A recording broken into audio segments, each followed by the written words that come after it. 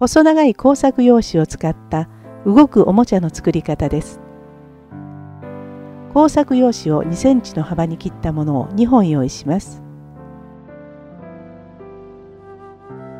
これを3分の1ぐらい折り返します。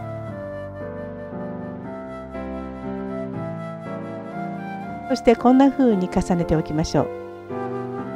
4センチ幅ぐらいに切った紙に糊をつけたら先ほどの折り曲げた端の部分を合わせて短い方の部分を合わせてこんな風に折ります。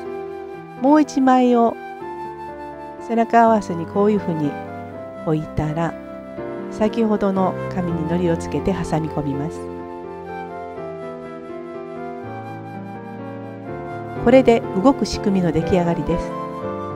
押したり引いたりすることで先が動きます。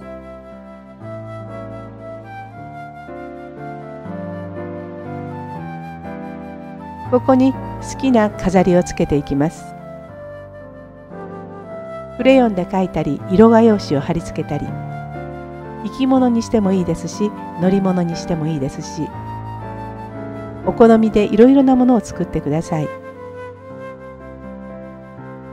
曲がる部分に飾りをつける場合は切り込みを入れましょうハサミでもいいのですがシュレッダーバサミを使うと簡単に細かい切り込みを入れることができます。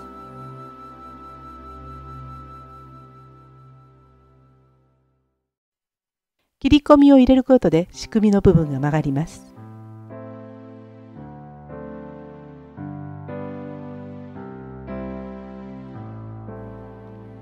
あとはお好みでどんどん飾りをつけていきましょう。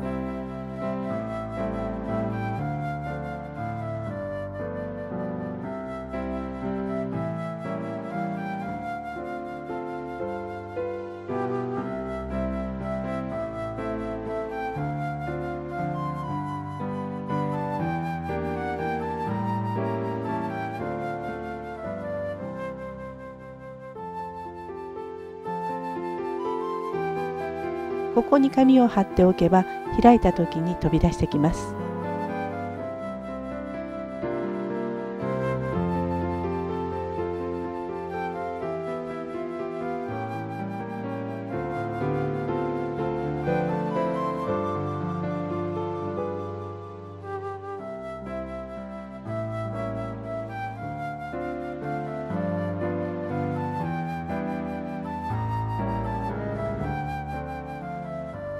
これで出来上がりです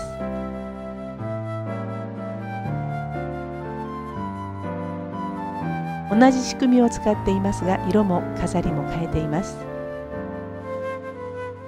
作る人によってもっともっと楽しい作品ができそうですね。